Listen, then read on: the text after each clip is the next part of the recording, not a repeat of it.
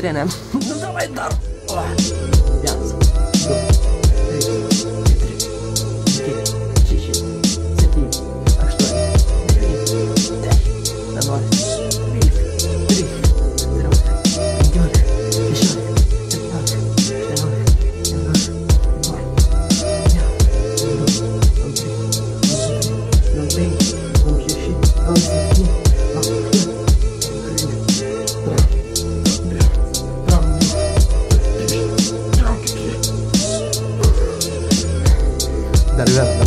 Dar vieną dieną padarėme. Labas rytas, labas diena, labas vakaras. Šiandien matematikos paskaitos ir viena anglų paskaita, todėl visas jas atbūname, pasijudinam draugai ir pradedam savo dieną užtikti.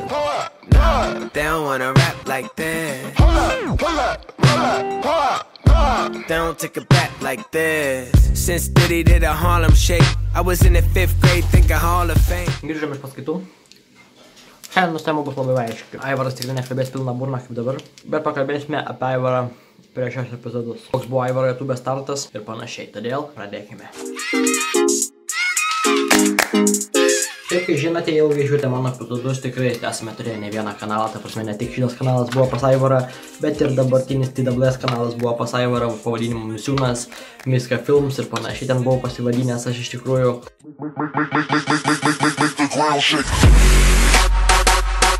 Pradėjome, žinoma, nuo pat pradžių jau vaikystėje kaime filmuoti kažką, bet YouTube tokių dalykų nekėlėme. Apie tai jau mes esame kalbėti ir ne vieną kartą, todėl galite pažiūrėti senesnius epizodus, kuriuos jau galite rasti netgi ir Facebook'e. Always plug, žinote. Viskas prasidėjo labai paprastai. Ėjom su pusbroliu kaime, pirnevom. Man taip sako, sako, davai, va, sumontuok ir įdėk YouTube, aš toks, nu davai. Pats pats video, kurį mes buvome įkėlę, tai buvo pavadinimu Tag Life, bet pirmas Tag Life video gavo turiu teisę pažydimą, todėl šitą epizodą tikrai nedėsim.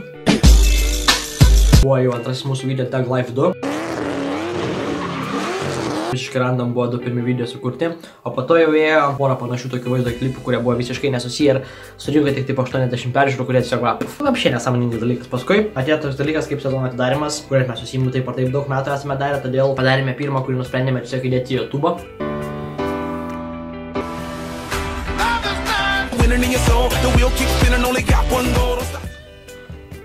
Taipogi, žinoma, buvo apimtas autorių teisės dėl to, kad dar nesupratau, kas čia per dalykai. Todėl manyčiau, visi tie žmonės, kurie kūrė ar kažkas panašaus, visą laiką žiūrėkite dėl autorių teisės, nes labai gali viską jums sutrukdyti ir sumaišyti. Po to, žinoma, dar buvau kėlęs, kaip šakinėjau, batutą pirmą dalį, bet kaip matau, jos visiškai nebėra, reiškia, ją ištrinę, tai beliko tik antra dalis.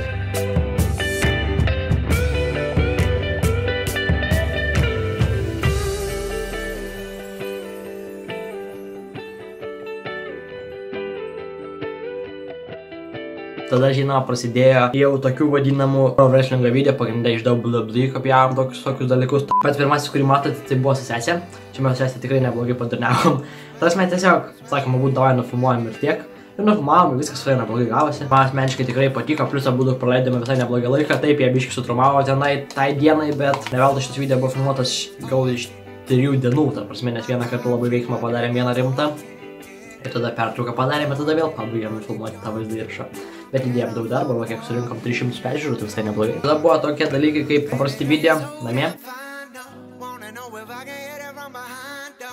I'm sipping on you like some fine wine, though. When it's over, I press rewind, though. Tada tiesiog, kaip leidžiam laiką, mini dėlį vlogį tiesiog, kad su muzika dviejų minučių.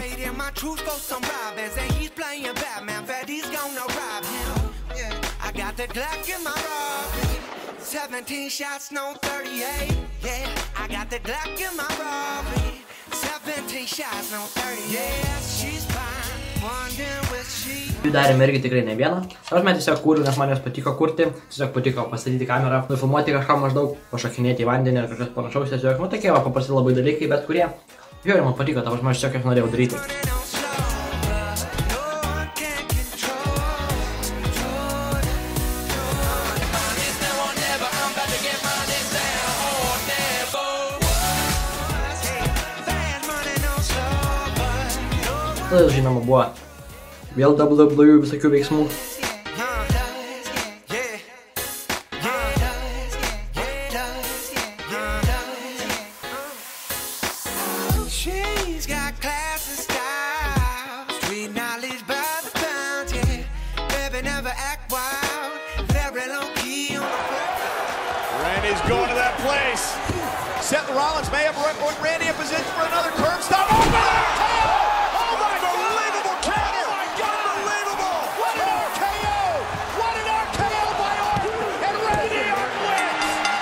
dar daug įvairių video, ta prasme, kaip ir sakiau, ta prasme, kad padedi kamerą su muzika, tiesiog filmuoji, perteikiai viską ir panašiai. I like the way you working on I'm about to bag it up. I like the way you working. And I got this soda. Remy boys that know. Tada darėm ten sezono uždarimus visokius, nu tiesiog tokie visi Aivaro epizodai buvo, kad, žinai, toks Aivaras buvo, kad perduodu visą tai, ką dabar pertikiu per porą minučių ir tiek.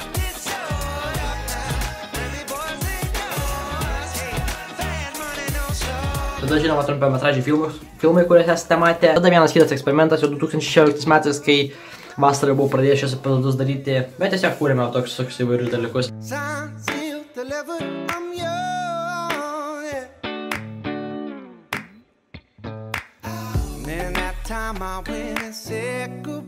Tai ėmė prie vieno tokio dalyko kaip 60 sub pavadinimo, būtent po šio ir tasme. Įsivaizduok, šventė.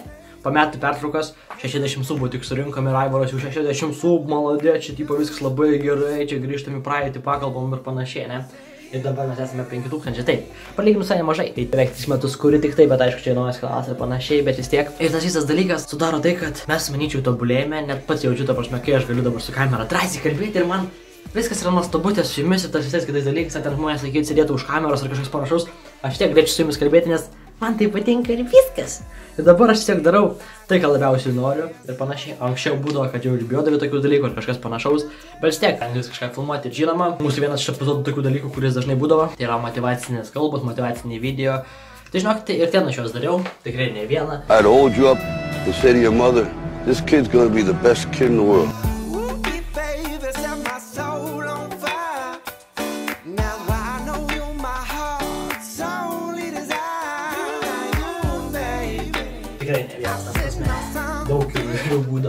Panašiai, todėl, nežinau, visai neblogai, manyčiau, visai, tikrai visai neblogai. Tada prasidėjo tokie dalykai kaip, pagnai, atsėdi ant sofos arba atsistojęs ir kalbė apie visokias temas, pavyzdžiui, kaip ten wrestlingo heiteriai, mano svajonės, ar kažkokie kiti dalykai, tarsi, kurie buvo visiškai neįdomus arba visiškai nesąmoningi dėl to, kad ten tikrai tragedija buvo.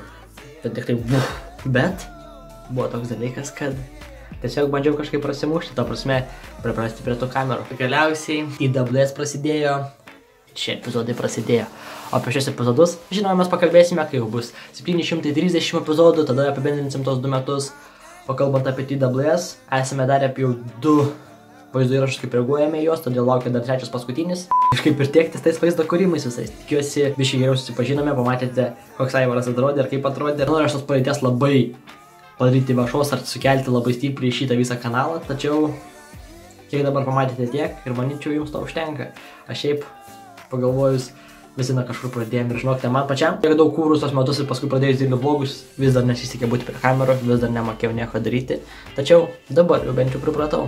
O tai yra bent jau gerai. Aišku, vienintelis dalykas, kuris toks gal bišių kalėjos, tai kad kažko tai trūksta, kažkokios tos tinkelės, kad kažkaip judėti rimčiau. Bet buvo daug komentarų, kurie tikrai teisingai pakalbėjo, todėl sutinku su tai šimtaprocentiniškai.